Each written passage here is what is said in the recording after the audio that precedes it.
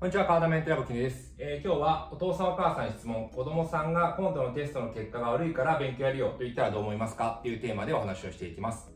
えー、このタイトルの通りですね、えー、子供さんがですね、最近こうこの辺の中学生、今週、来週、再来週ぐらいに定期テストがあるんですが、その息子さん、娘さんがもし今度のテスト結果が悪かったら勉強やるよっていうふうに言ったら、お父さんお母さんこれどう思うかなっていうふうに思うんですね。え、いや、今やりましょうよと。あのテストを迎える前にやってその結果受けてっていう風にやるならいいんだけどなんで悪かったらっていう風に限定するのっていう風に思いません？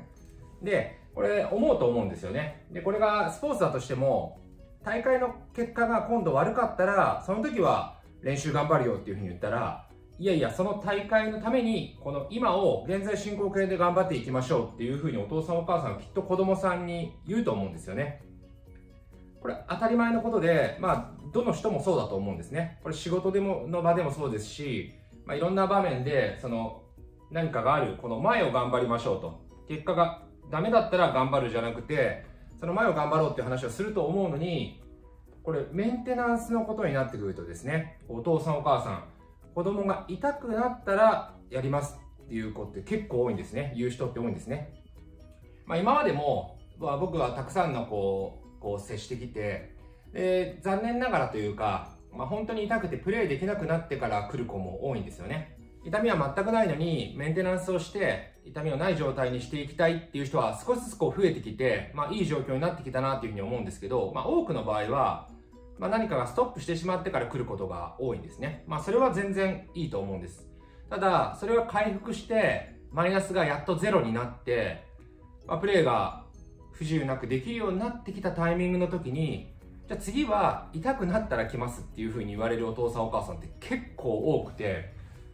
ああこれって不思議だなっていうふうに思うんですね。もし子供さんが今度のテストの結果が悪かったら勉強やるよって言ったら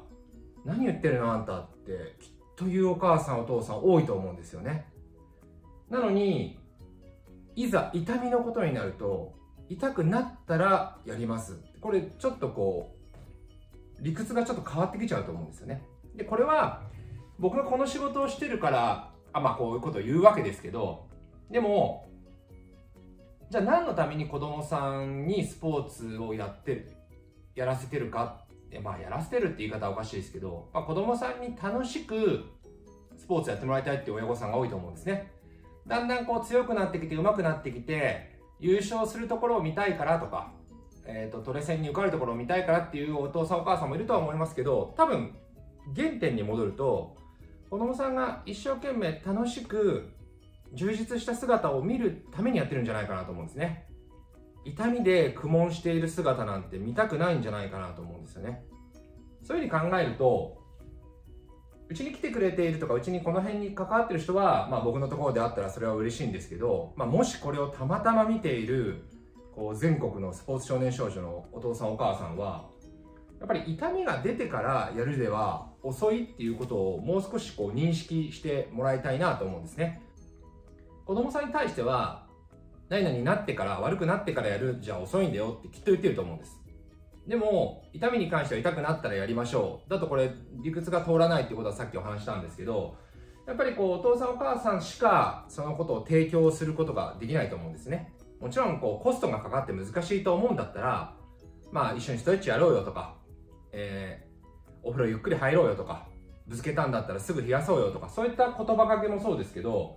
まあ痛くなってから何かをやるんではなくて、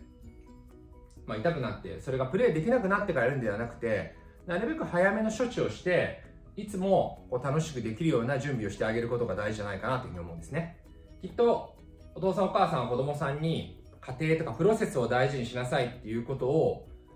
たくさん言ってると思うんです。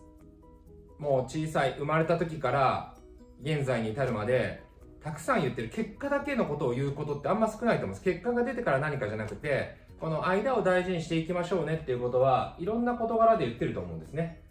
だったら、こうスポーツにこの関して、痛みに関しても、やっぱりお父さんお母さんが率先して事前にこういうことが大事なんだよっていうふうに伝えていけるお父さんお母さんが増えていけば